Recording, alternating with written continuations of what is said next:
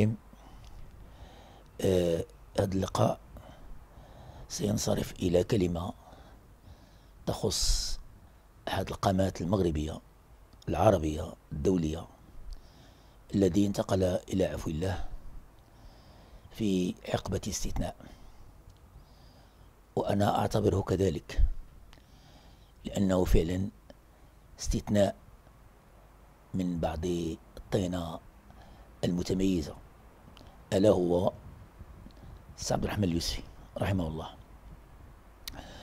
أكيد أن هناك أقلام سالت وشهادات تم الإدلاء بها من قبل رفقاء دربه على المستوى السياسي وعلى مستوى التنظير وعلى مستوى النضال والصمود وعلى مستوى المواطنة وتحرير الشعوب والأفراد.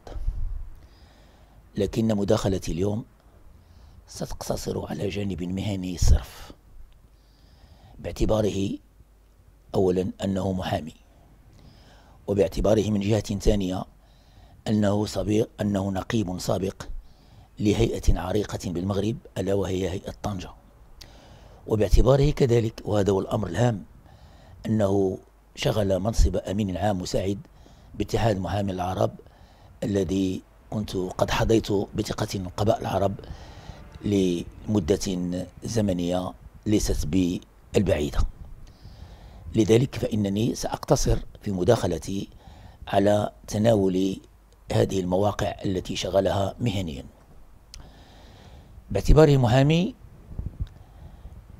الغريب أن يتقلد محامي مهمة نقيب.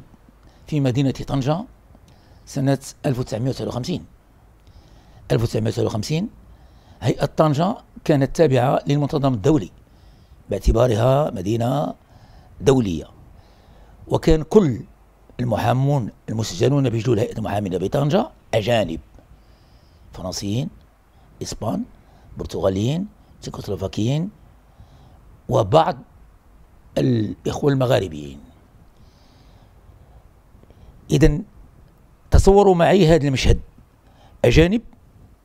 جميعهم كانت لهم مقالات أو مواقع داخل المغرب وباعتبار أن المغرب في بداية عهد الاستقلال 1950 لم تكن هناك مغربة بعد لقطاع المحاماة.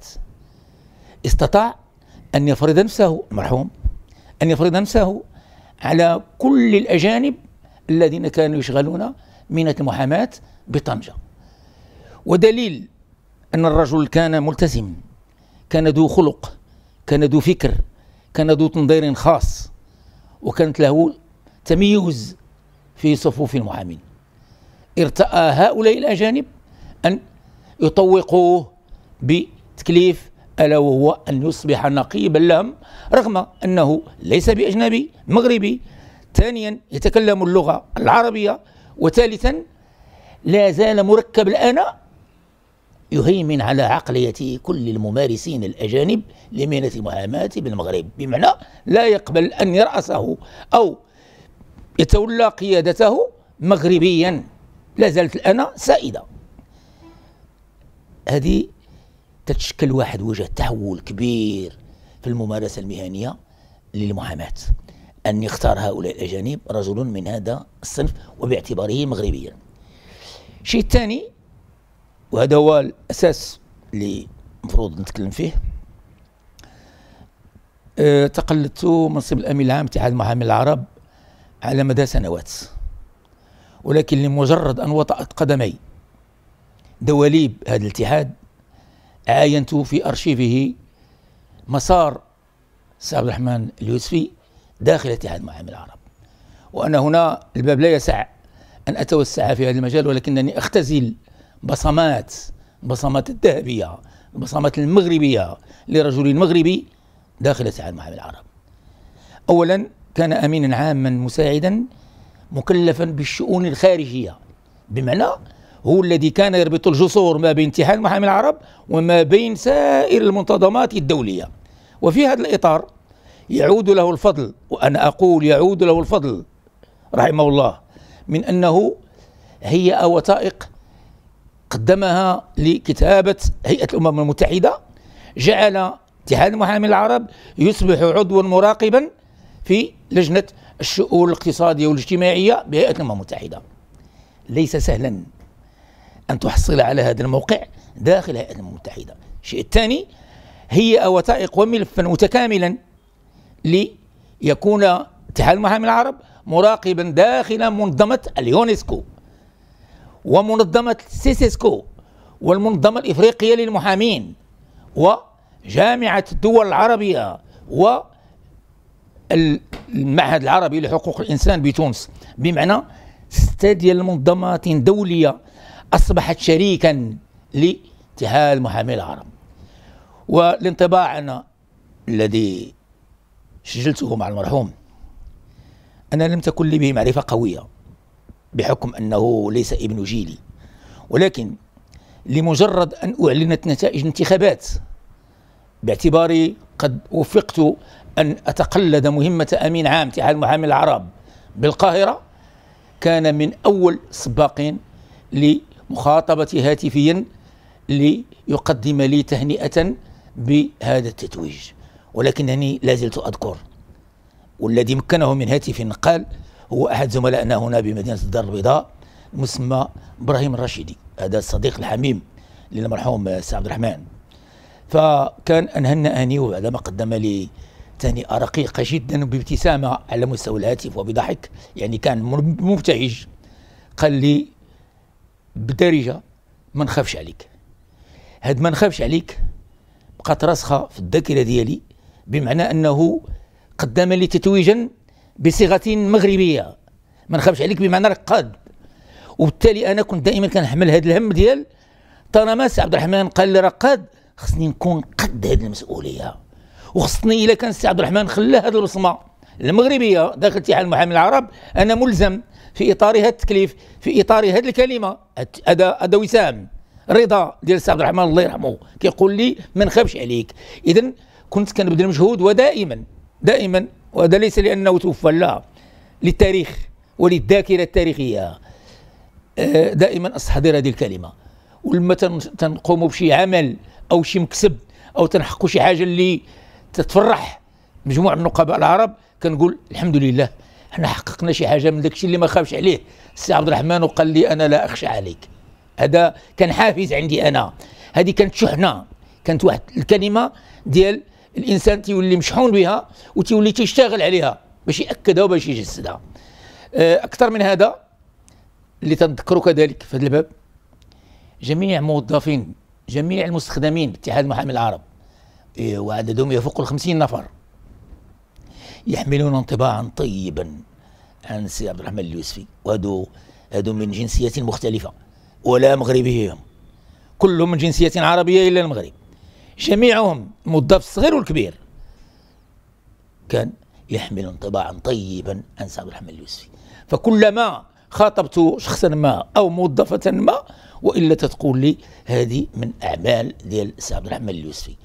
وهنا تن تنسجل واحد المسألة مهمة لا بد نقولها لكم.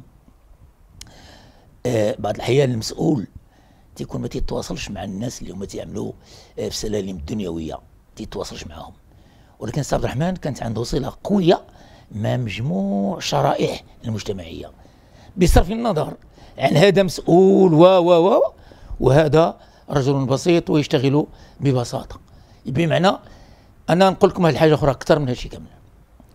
كاين واحد الحارس ديال الباب معروف اتحاد المحامي العرب عنده واحد 60 عام خذ التقاعد وداروا له التمديد ومازال دابا الآن حي. عنده قرابة 90 عام في العمر ديالو. هذا تيفتح الباب ديال الاتحاد باب. حارس. ورجل الآن أنا تنذكر خلال الولاية ديالي كأمين عام اتحاد المحامين العرب كل ما ولجت صبيحة أي يوم. باب الاتحاد. تفتحوا لي تندخل مع السائق تيدخلني كيحييني تيقول لي كيف داير السي عبد الرحمن؟ تصوروا معايا هذا اللي غادر الاتحاد هذه واحد 40 سنة باقي إحساس ديال الباب حارس ديال الباب رجل مسن. كيسأل على سي عبد الرحمن اللوسي بمعنى أن بصمات الخير أن ما قدمه هذا الرجل لهؤلاء لهذه الشريحة.